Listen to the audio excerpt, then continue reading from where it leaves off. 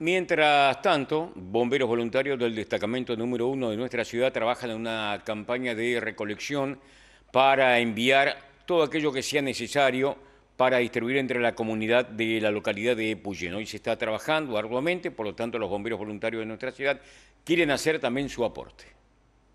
Pastizales. Sí, estamos haciendo una colecta y barbijos, eh, lavandina, guantes descartables, que es averiguamos si es lo que más necesita, ¿no? Y eso va a ser enviado a nuestros compañeros eh, bomberos ahí de, Puyén que están trabajando muchísimo con, esta, con esta emergencia. Así que bueno, a toda la población, a todos los que estén mirando, sería bueno de, poder colaborar con nuestros hermanos de la cordillera que lo están pasando realmente, están pasando realmente mal y bueno, nosotros que podemos, a si podemos dar una mano, lo pueden acercar a alcalde destacamento 1, Kennedy Rivadavia, eh, las 24 horas estamos nosotros, eh, lavandina, detergente, guante descartable eh, y barbijos, eso es lo que más se necesita y nosotros, bueno, se lo vamos a hacer llegar a, los bomberos directamente de allá de Puyén. ¿Hasta qué día colectan estos elementos?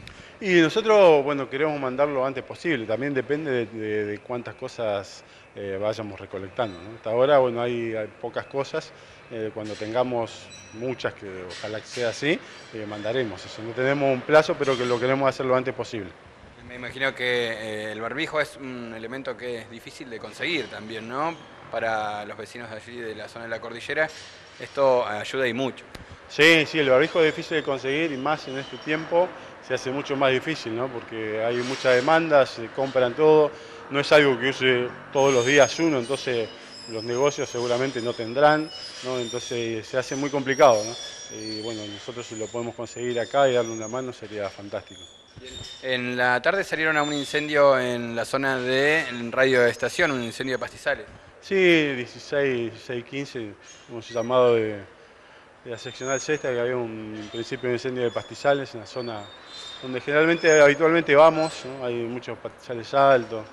Eh, bueno, afortunadamente fue solamente pastizales, fueron dos dotaciones nuestras del cuartel, con apoyo también de los bomberos de kilómetro 3 y un móvil de cuartel central. Eh, dado que había mucho viento y con, el viento el fuego se, se, expande muy rápido, pero no, no hubo que lamentar ninguna pérdida, solamente el pasto nada más que se ha quemado.